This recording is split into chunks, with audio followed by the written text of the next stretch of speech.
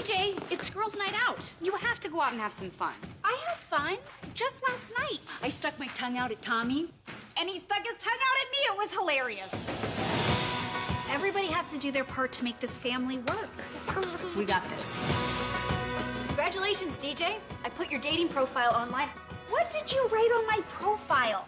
I'm a neurosurgeon who's also a Victoria's Secret model. She will pack us forever, no matter where we are. She Wolfpack Hell.